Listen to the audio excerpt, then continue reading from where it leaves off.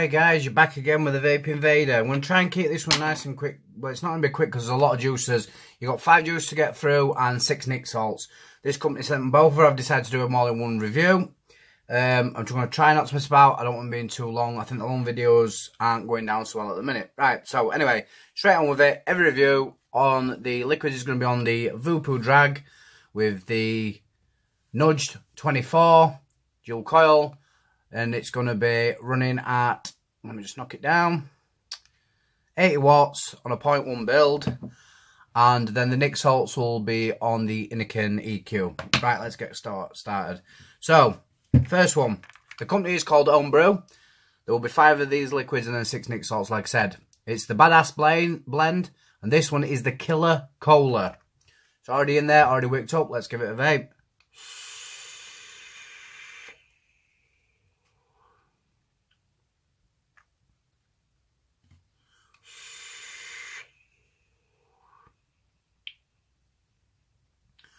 I'm actually pleasantly surprised, guys, because I will say, when I tried these and I drip tested them on my finger, they did taste a little bit chemically, and I thought, oh no, it's not going to be very good.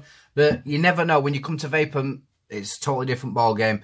When you dip in, it's just giving you a rough guess of what the flavour is going to be. But yeah, that Killer Cola, it's a nice cola. It's not cold, It's not overly cold. There's a little bit of cool agent in it, or something in there to make it cold, but it's not overpowering. It's actually not a bad cola. I've had better, but I've also had a lot worse. So, we'll go out and come back with his next one, which will be the Punchy Pineapple. Guys, we're back. We're waked up with the Punchy Pineapple.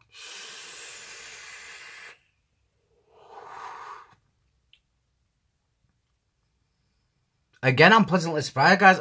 You know, I was actually not looking forward to doing this review because of the drip test. I've not actually vaped these. I've been vaping the Nic salts, but this is like crack and vape with these.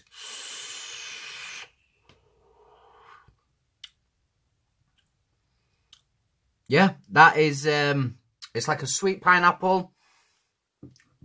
And I'd say there's some citrusy notes in there. A little bit of lime, a little bit of lemon. But the pineapple's the main, main flavour that's predominantly coming through yeah, really enjoyable, guys. I like that one. So let's move on to the next one. It's the Tangy Twister. Tangy Twister, again, by Ohm Brew. These are all by Ohm Brew, guys. Right, guys, so we're back with the Tangy Twister.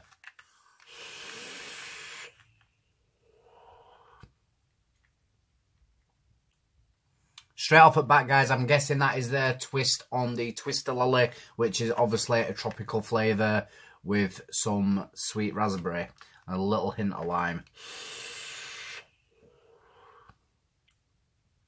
Not bad, not bad again. What I would say is I'd like to have seen that colder. Just because, you know, Twister Lolly, cold, colder flavour. It's just my thing, but yeah, again, not a bad flavour. I'm actually quite shocked, guys, so we're going to keep it rolling. Um, Freaky Fruits. Here we go again, guys. The Freaky Fruits.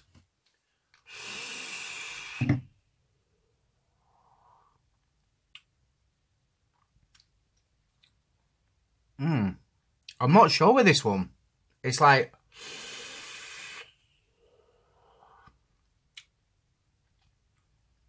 I'm to have to look that one up, guys. I'm getting a melon. It's quite, it's cold. It's a little bit colder than the others. Apparently, it's a summer fruits and melon. Yeah. Now I think about it, yeah, yeah.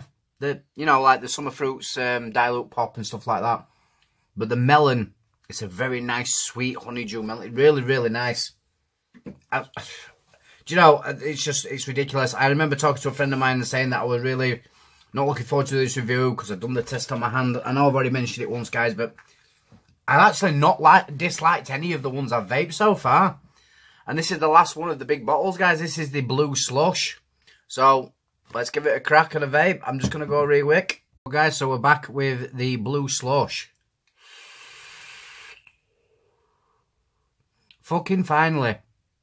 Pardon my French, guys, but you know, I've sworn on the channel before. Finally, a company's put coldness in with the blue slush. I know there is others out there that have done it, but I've tried so many lately. Um, this one being for one, the the Murph blood. That was meant to be a blue slush, and there was just nothing cold to it whatsoever. A slush is meant to be cold. It's obviously made with ice, so. As for the flavour, yeah, it's like a blueberry raspberry slush. So let's fetch them back, guys. Give you some sort of order on these. Um, difficult, difficult. That, that, probably that, mm, that. This is my order for these guys. Punch Pineapple, I would probably give a good 8 out of 10. It's very nice. I'll definitely be vaping that again. The Freaky Fruits, I'd give a 7.5 just because it's a little bit strange. So it's something a bit different. That, um, you know, the fruits, the dark fruits, summer fruits mixed with the melon. It's very refreshing, very different. The cola is not a bad cola at all. I've had better, I've had worse. I'd give that like a 7, maybe a 6. No, I'll give it a 7. The blue slush, 6.5. It's just because, you know, it's a blue slush. I've tasted them all before. There's nothing that really stands out. There is coldness in it though, so maybe bump that up to a 7 to match the cola. And the tangy twist, again a 7. Um, to be fair, these are about middle of the road sort of liquids, guys. I mean, they're not the best I've ever tasted, but they're nowhere near the worst, which I was expecting. So just don't judge a book by its cover, guys. Just because I cracked, dripped on my hand and tasted and thought it tasted a little bit like chemically. But once I actually tasted them on the dripper, fantastic. Absolutely fantastic. I will say just to point out that the cola one is a slightly darker colour, whereas the others seem to be more of a clearer liquid. But yeah, all in all, not a bad liquid, guys. There will be a link in the description if you want to go check them out, if you want to go pick some up.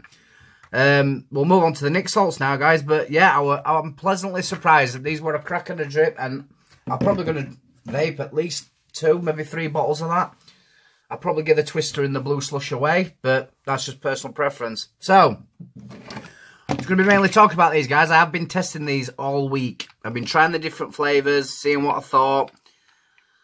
You know, I do like my Nic salts a lot. I always have this around on me, the Innokin EQ. I might be replacing this shot with something a little bit better, but we'll have to wait and see.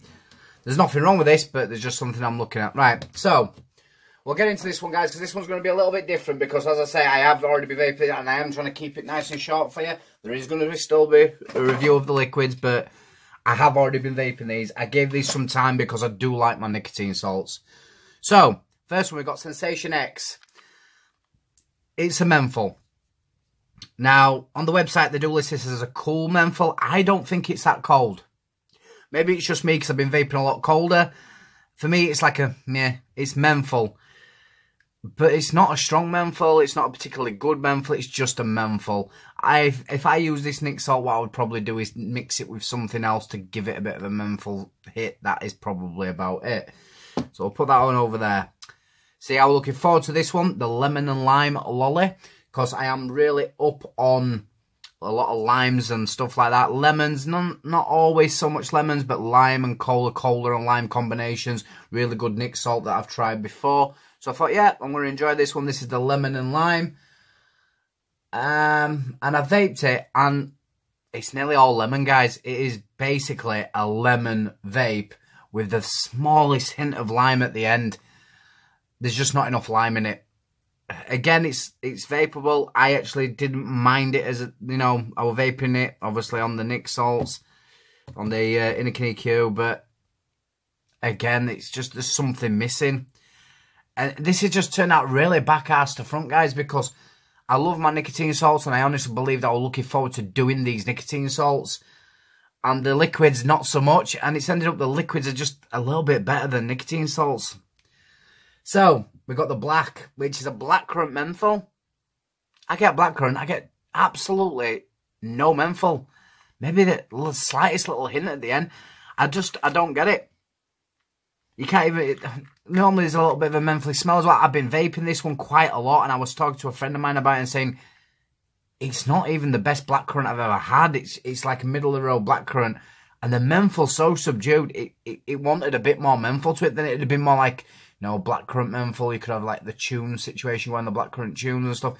But no, it, again, I mean that's three liquids, and each one had something a little bit missing. I think these Nic salts need to be looked at again and maybe played with a little bit and changed a little bit. But it is what it is. So moving on, we've got white. I'll be honest, guys, I did not have a fucking clue what this was.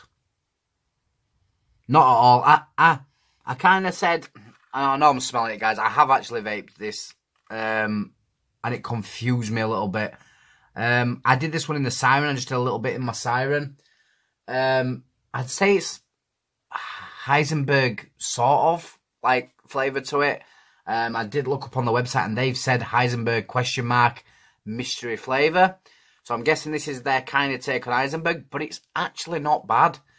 It's just a little strange because you're obviously used to a certain Heisenberg and yeah. So that one's not too bad. Then we have this Rocking Raspberry Sorbet. I was actually looking forward to this. I do like a nice raspberry, especially when it's got the tightness to it. And sorbet, I'm thinking very sweet. As you can see, I have vaped quite a lot of this one. I've been really trying to pull it through. I've tried it on different things. Tried it on this. I also did try it on something a little bit older, a little bit old school. The Heat Heat Vape Invader with the Siren V2 on it. And uh, still got really the same results. A little bit of vanilla. Um, and raspberry and limey lemon. I'd say more lemon than lime. Um, when you look at the flavour composite, it does mention the vanilla. The vanilla's only very hintly in there. For me, it's not a sorbet. It's just, it's like a, a raspberry lime. It, I don't get like the really sweet texture of a sorbet. And it's just not quite what I was expecting. Maybe that's on me, not the liquid. I wasn't overly fond. I kept trying it and trying it. I did vape quite a bit of it. So it is vapable, guys. It is vapable. It just wasn't what I was expecting. Now, the blueberry bubblegum. I'm not always a massive fan of bubblegum. Um, I've just got a really nice grape from another company recently. They had a bubblegum and it was strange at first. I am enjoying it, but it was strange. I actually enjoyed this. And I normally tend to pull away from the bubblegummy flavours, but this one for me is probably one of the best ones they had. It is exactly what it says on the bottle. It's a chewy bubblegum. Really, and even when you smell it, you get that, like, the little pink and blue bubblegums from when you were a kid. So, yeah, that one's pretty much on point. So, if we're going to score the Nic Salts, give this one a 7, the bubblegum. Um, I'd probably then say, oh, the Mr. White, i give it a 6. The black and the raspberry, the, the raspberry I'd probably give it a 5. The black I'd give a 5. The lemon and lime's getting a four, and the Sensation X gets like a two because it's just the worst menthol, not worst menthol I've ever had, but it's, it's just it's just low. There's menthol missing in that. I'm not getting much lime in that. It, it, if you're watching this, um, bro, I think you need to go back and revisit your Nic Salts and just play around with the flavours a little bit because the bigger flavours, these, absolutely on point, and I wasn't expecting it because of that slight chemically taste I would get when I test it on my finger. Maybe it would just, it's maybe it's just the type of VG or PG that they use. I don't know. But vaped, I will recommend these. They are very nice. Uh, have a look. There is a website. It been called Ohm Brew, obviously thinking like, is it some brewed in someone's garage or bathtub or what have you? Hence why the jokey picture. But no, um, there is a website. These don't seem too bad, guys. I would probably recommend trying these out. The Nic Salts, however, I can't really recommend them. I really can't. Um, they're just not for me, guys. Not for me at all. So, but I have looked on the website and they have got other flavours in the Nic Salt range. And to be fair, the ones I didn't get sounded a little bit nicer than the ones I did get.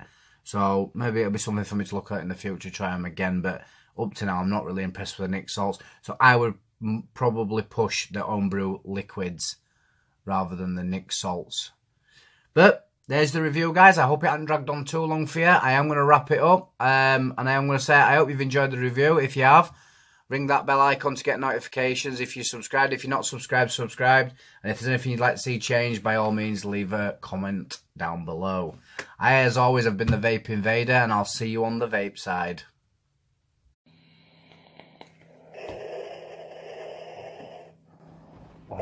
Comment.